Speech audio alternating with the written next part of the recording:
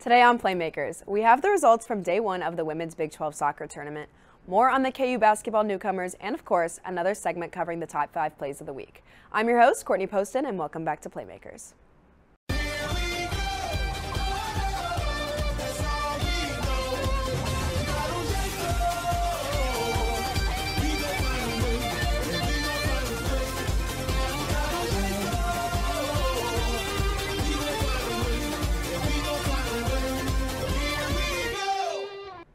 Just in time for the start of basketball season, head coach Bill Self announced in a press conference this morning that everyone is healthy and ready to play full minutes on Monday for the team's season opener against Howard.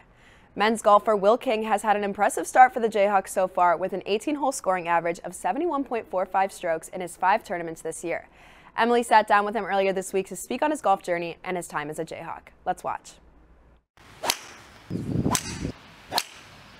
I just fell in love with KU athletics from a pretty young age. So just the idea of being able to represent it myself was always like a really cool concept. For Kansas men's golfer Will King, the dream of playing for KU became a reality.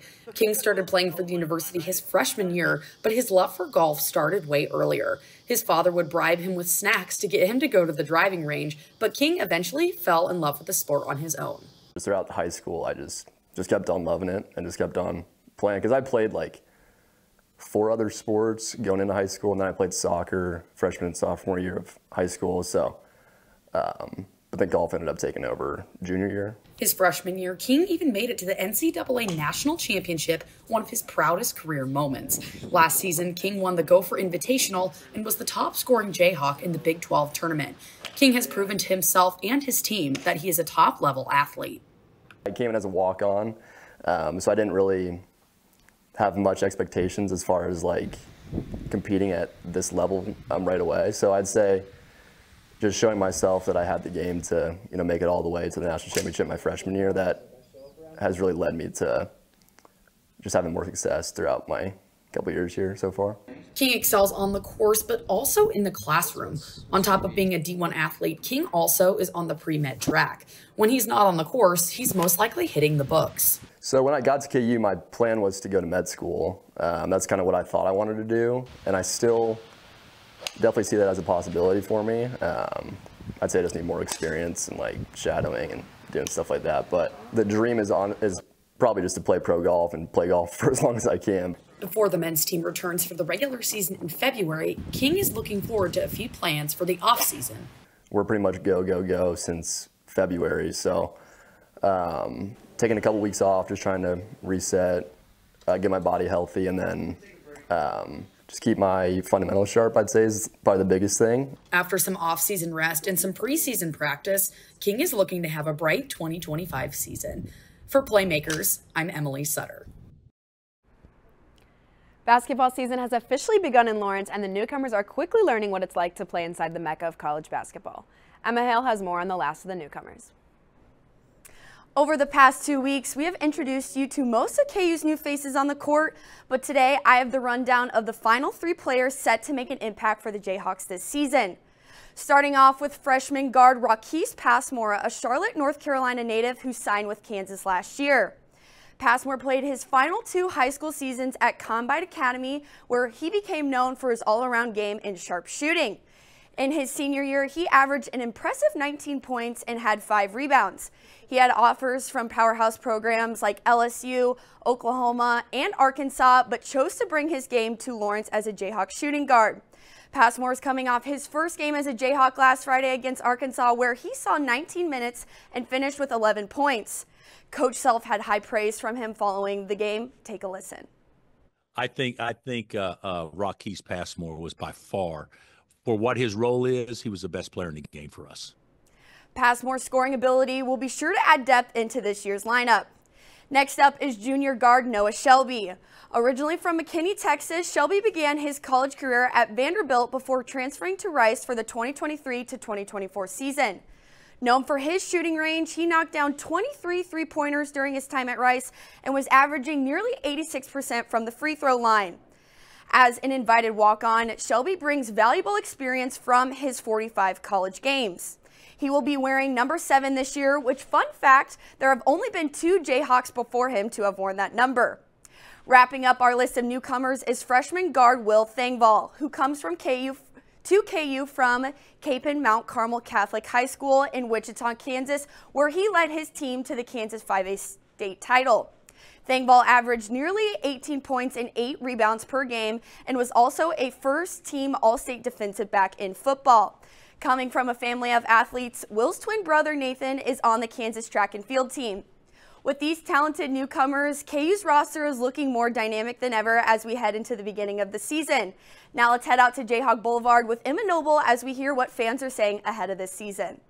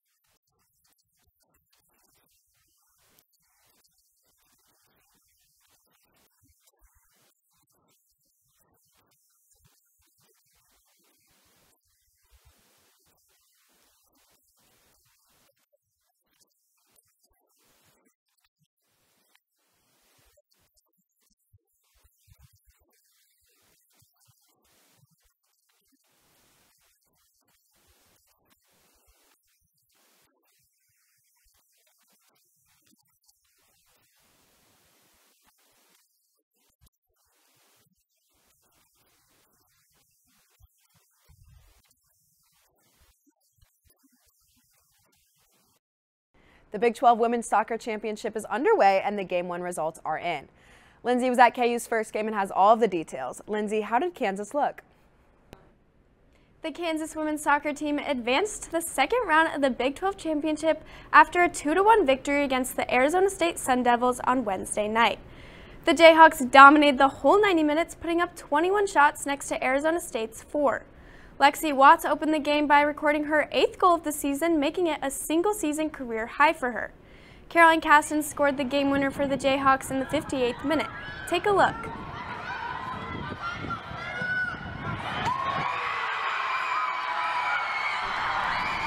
This is Caston's third consecutive goal in the past two games, and she was recently named to the All Big 12 first team alongside teammate Lexi Watts. The six seed Kansas Jayhawks will be back at CPKC Stadium tomorrow night at 5.15 p.m. to take on the number three seed West Virginia. Last time the Jayhawks played the Mountaineers, they fell short 3-2, but this time around the Jayhawks are on a five-game win streak and will look to utilize that momentum.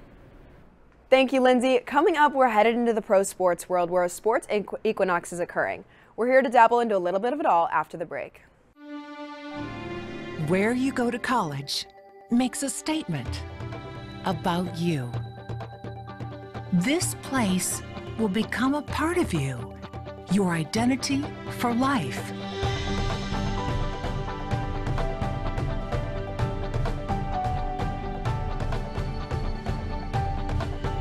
The University of Kansas, a great place to be you. Breaking news out of the baseball world, Bob Costas is retiring from his role as an MLB play-by-play broadcaster, he confirmed to The Athletic. Costas is a 72-year-old and will continue his work at the MLB Network. His last time on the call was the Yankees-Royals ALDS matchup on TBS. Wishing Costas the best of luck moving forward.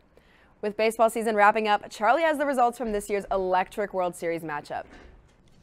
An electric series it was, and it took just five games for the Los Angeles Dodgers to become the 2024 World Series champions. Game 5 took place on Wednesday night in a game where the Yankees were trying to get the series back to Los Angeles for Game 6. At first, it looked like that's exactly what was going to happen. Aaron Judge, who going into this game had one of the worst batting averages in the World Series in the history of baseball. Now, he would start off the game with a home run, followed by third baseman Jazz Chisholm, who would do the exact same thing going back to back. The Yankees would go up 5 0 just to see it all come crumbling down. on the back of five unearned runs thanks to an error from the MVP, Aaron Judge. In the eighth inning, there was two sacrifice flies from Mookie Betts and Freddie Freeman that would give the Dodgers their final lead of 7 to 6. And speaking of Freddie Freeman, oh my. Freddie Freeman has been a part of two World Series teams, one for the Braves and now the Dodgers. Freeman ran a streak of six consecutive World Series games with home runs and seven consecutive games with RBIs, including a walk-off slam in Game 1. This guy comes through when the lights are the brightest. Freeman would go home with the World Series MVP honors. One name that should not be overlooked is relief pitcher Blake Treinen. Treinen not only recorded the win, but got two of the or seven of the biggest outs of the year for the Dodgers in the seventh and the eighth inning, striking out two to escape an eighth inning jam before handing it off to Walker Buehler, who was the first starting pitcher to get a save in the World Series and, the, and get a save clinching the World Series since Chris Sale did it against the Dodgers in 2018. For the Yankees, it was their offense that really disappointed them throughout the entire series. In the four games they lost, they averaged just over three runs a game. On the regular season, the exact same lineup was averaging over five runs a game. Now, not a great time for this lineup to go missing. To all you Yankees fans out there, for what it's worth, you guys still lead the all-time World Series series record against the Dodgers 8 to 4. And what has become the most played World Series matchup of all time. Now that that is everything I have on the World Series. For more on baseball, we'll have to wait until February 20th, where the Cubs and Dodgers will play in the first spring training game. Courtney, these lights were pretty bright, but what do you know about the NBA's brightest lights? Luckily, the lights aren't as bright on me as they are over in New York. Chad, what's happening over on the East Coast? The lights shine brightest inside Madison Square Garden, and it's been 50 years now since that and the Fabulous Forum opened their doors to fans in New York City and Los Angeles. To date, few professional basketball arenas have been able to replicate a fan experience that the aforementioned venues provided. Enter the Intuit Dome. Led by former Microsoft CEO and now crazed Clippers owner Steve Ballmer, the NBA's newest arena is full of gadgets and gizmos, all aimed at creating the best home court advantage in professional hoops. From a structural standpoint, the lower bowl of the Intuit Dome drew inspiration from something we are quite familiar with here at Kansas, a student section. Ballmer dubs it the Wall. It's 51 consecutive rows stacked on top of one another, reserved strictly for the loudest fans in the building. After the arena's debut game, Clippers newcomer Kris Dunn said, quote, it feels like we're in college again. In each seat, fans are prompted to engage with a Halo board, a 360-degree scoreboard of massive proportions designed to keep fans entertained and informed at all times. The concourses of the Intuit Dome are built for quick breaks. Concessions utilize facial recognition for touchless payments, and toilets are plentiful, 1,100 to be exact, to eliminate lines at the bathroom. In all, the Intuit Dome exists as a passion project from a refreshingly enthusiastic owner dedicated to maximizing the fan experience. Similar to how Oriole Park at Camden Yards ushered in a new era of neo-traditional ballparks across Major League Baseball, the Intuit Dome is poised to inspire the next generation of NBA arenas. An arena built for the fans, by the fans. A renaissance in the business of hoops. With more on the, on the NBA to break down, Courtney, what do you got? We've got more business, and by business, I mean a look for the new look for the Los Angeles Lakers. Luke, can you show us what's new with the team this year? Thanks, Courtney. Welcome back to Film Breakdown. Today, I'm going to be breaking down the Los Angeles Lakers and their new offensive game plan. These Lakers are nothing like you've seen them in the past. They've got the same core group as before, but this time under the direction of JJ Redick. In his first year of coaching experience, Redick has emphasized he wants to see more off-ball movement, more three-point attempts, and more scoring and playmaking from Anthony Davis. And we're going to see that here in this first clip from the Sacramento Kings.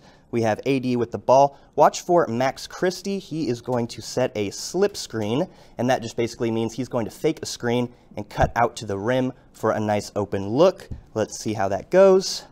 Fakes the screen, finds the open look, and there it is.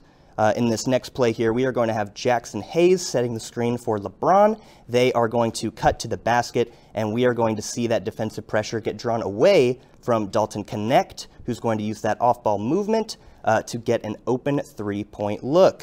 So we have Dalton Knecht gets the three-point look. We're going to want to watch out for him. He's making a lot of key plays for the Lakers off the bench. Uh, in this next clip here, we have LeBron setting the screen for Austin Reaves. Again, he is going to cut out to the basket. This time, he is going to find AD, and he is going to get that open jam. So we can see this offense looks a lot less stationary than before. Uh, the Lakers win their first game of the season since 2010 under Redick. Uh, the guys seem really bought into this new system. I know I am. What about you, Courtney? I think things are looking good for them, but it's still too early to tell. Up next, we have some more content coming your way, including the top five plays of the week, roundtable, and more. From adversity, we rose. We made history and became pioneers, voyagers, champions, Jayhawks. And when our chant rises, haunting and hallowed, Jayhawks are telling the world what's near. Victory. As we all know, there's never a dull moment in the sports world. From football to hockey and everything in between, there's always a little bit of action going on. But luckily, Brody has narrowed it down to the top five this week. It's time for another check-in on this week's top five plays. Are your heads straight? Because I'm looking to turn some. Let's take a look at number five to start. So here at five, we got Cal versus Oregon State. Fernando Mendoza is going to throw it down to Jaivian Thomas, who, whoa, he pitches it back out to Fernando Mendoza. How did he do that exactly? Look at this. Stays on his feet, dives and pushes it out. Mendoza runs it in for the easy score. Cal wins that one 44 to 7. Here we got Luka Doncic with another behind the back crazy pass. Luka Doncic, eyes in the back of his head to Spencer Dinwiddie. The Mavs will take that one 120 to 114. Here at three, we got Benfica. Here's Pavlidis to Angel Di Maria with a strike on the volley. How hard is that? That's hard to do. The legend opens the scoring for Benfica, and they take that one 3 0 at two. Cortes pitching to Freddie Freeman right down the middle. First pitch, goodbye. Grand slam, first walk-off grand slam in World Series history. Freeman hit a home run in six straight World Series games. Insane work from Freddie Freeman. Outstanding plays. And then coming in at number one, what else would it be? Commanders, Bears. Jayden Daniels rolls right, goes back left, fires from the 35. Daniels can't quite make it there, but Stevenson tips it to wide receiver Noah Brown. What a play! Right in the end zone, the walk-off touchdown for the win. That is incredible work there from the Commanders, and those are this week's top five plays. But Courtney, Netflix had some recent documentaries that in their top 10, what do we know? Brody, I know that Netflix has been on a roll in recent years, releasing a variety of documentaries around the sports world. Lily, how much of these have impacted the viewers and fans? Sports documentaries have become a powerful way to transcend traditional sports audiences and appeal to viewers interested in stories of human resilience, ambition, and overcoming obstacles. These documentaries provide a behind-the-scenes look at the athleticism and personal lives of athletes, coaches, and even fans. The rise of streaming services have expanded their reach, creating a significant impact on both sports world and popular culture. Sports documentaries have the ability to reveal vulnerability and humanity of athletes who are often viewed as superhumans. By showing their challenges, fears, and failures, these films help connect fans with athletes on a more deeper level. For example, The Last Dance, seen on Netflix, celebrated Michael Jordan's career, but also highlighted his drive, competitiveness, and controversies that surrounded him as a player. Documentaries have the capacity to revitalize interest in certain sports or teams by influencing viewership, merchandise, and fandom. This is directly reflected in Netflix's Formula One Drive to Survive, which is accredited with increasing Formula One's popularity in the United States. The social media accounts for Formula One saw a 440% increase after the first season in 2019. Producers are taking sports documentaries to a new level by following specific athletes throughout a season, practice, or even their day-to-day -day routine. A series such as Quarterbacks or Face Off provide an inside look on how athletes operate. Face Off inside the NHL brings together the best of both worlds, peeling back the curtain on the life of NHL players while also filming the high drama that plays out in the pursuit of the greatest trophy in all of sports, that is the Stanley Cup.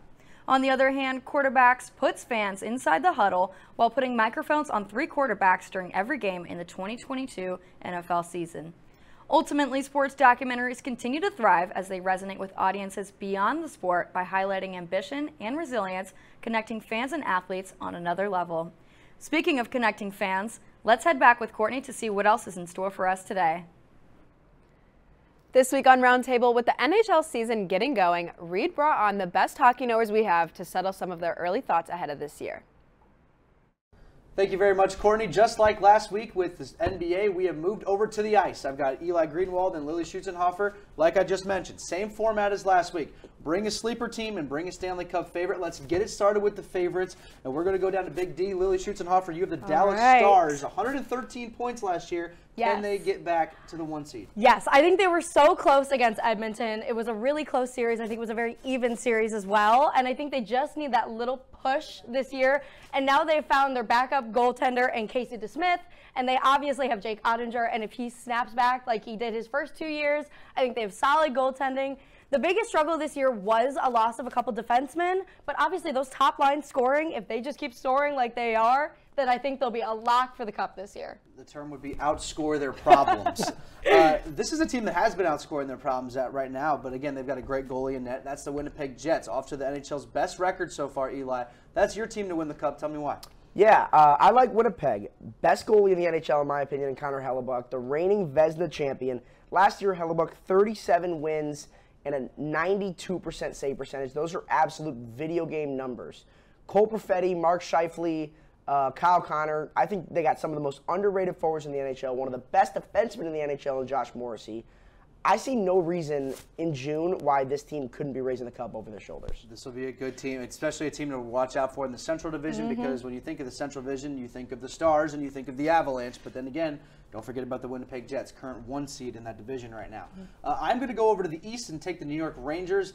Yes, this is finally the year I'm drinking the Ranger Kool Aid. But then again, there's just so much to like about this team. You got Igor Shesterkin in net, top three goalie. Top three defensive core. You got Adam Fox, K'Andre Miller, uh, who else you got there? You got Rempe out there to play mm-hmm. physical. If they want to play physical, the Rangers are going to play right into that. And of course, you got them up front. You got Chris Kreider. You've got Artemi Panarin. You what got line isn't good? Right. they are so deep, one through one through four lines. They've got 12 great forwards. I'm very excited about what the New York Rangers could do this year. Staying in the East for your sleeper team shoots, you've got the Detroit Red Wings, another team that's got an interesting mix of forwards, but then mm-hmm. they're going to be solid on the back end as well this year. Yes, I've got a lot of former Blackhawks actually, and Patrick Kane and Alex DeBrincat, and obviously top scorers. You've seen them in their whole career; they've done nothing but score. And now you have obviously Dylan Larkin in that mix, as long as he stays healthy. They were so close last year. They just got beat out by Washington by literally a regulation game versus a shootout game. One point. Literally one point. And I think if you give them the time to be as good as they can be. I think they can make it. I think they'll squeak right in in that second wild card spot. Again, they're not looking too hot right now. They have an 11% chance to make the playoffs. But there's a lot of season left, and I think 100%. give them what they need, and they can make it. If you can get 65 games out of Patrick Kane and mm-hmm. Alex DeBrincat, yeah. then I think I think Detroit could definitely again outscore some of their problems. Yes. Uh, over to you, Eli, a team that probably won't do much outscoring their problems. That's the Ottawa Senators. They've made a big trade in the offseason. Tell us more about it. Yeah, I'm going back north of the border to the Canadian capital. I like Ottawa, but you got to remember, like you said, they're not going to do much outscoring their problems, but this is a different Sens team than we saw last year. They made a huge offseason trade in getting Linus Ullmark from the Boston Bruins, the 2023 Vezina champion, one of the best goalies still in the league. Solid offense. I mean, underrated offense. Brady Tkachuk leads their scoring in his thir- just coming off his third straight 30 plus goal season. Thomas Chabot, Tim Stützle, future Hall of Famer veteran Claude Giroux. I mean, they've this, got a good mix of everything. Absolutely, they really do. Absolutely, and with Ullmark between the pipes, stopping the puck, I don't see a reason why this team couldn't make a push for a wild card spot in the Eastern Conference, which is very, very top heavy.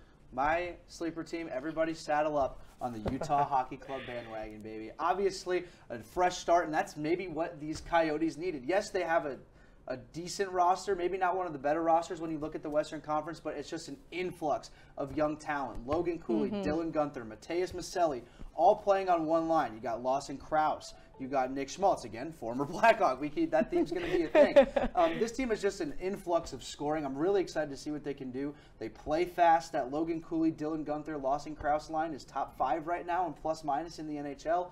If they can keep their head above water and maybe make a late playoff push, maybe the goaltending might be a problem for them. But if Connor Ingram can, can step up and give them some meaningful games in April and maybe a little bit of May, I think that could be absolutely huge for this Utah Hockey Club. I would be very excited to see a playoff game at Delta Center. I think that would be awesome. Yeah. Atmosphere has been electric. exactly. yeah. Guys, we talked about some former Blackhawks. We're going to throw it back over to a Blackhawk fan. Courtney Poston, back to you. Before we head out, MTV has joined us for a crib tour. Oh, wait, that's just Jake taking us behind the scenes with basketball manager Carson Linens for an exclusive look at the KU basketball's equipment room.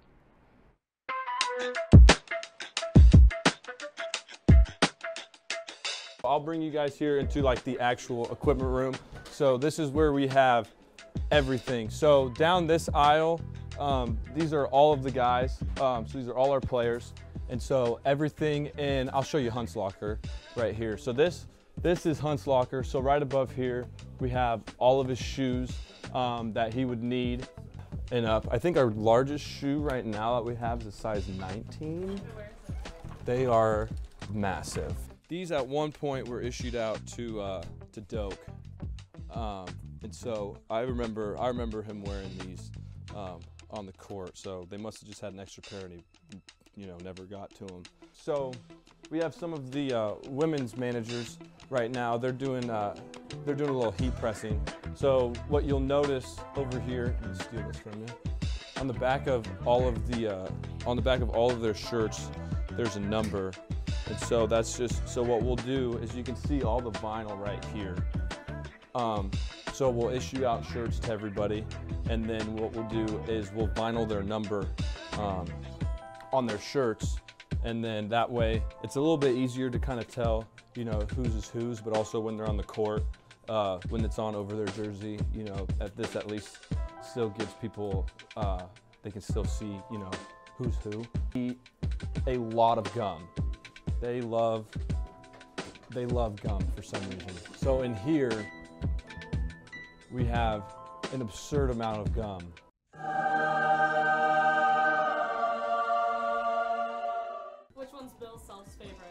Oh, okay. So here's some more, but I think he's got the, he's big into these icebreaker cubes. I don't know which one his favorite is, but I know he's always holding one of these. Um, he loves the cubes for sure.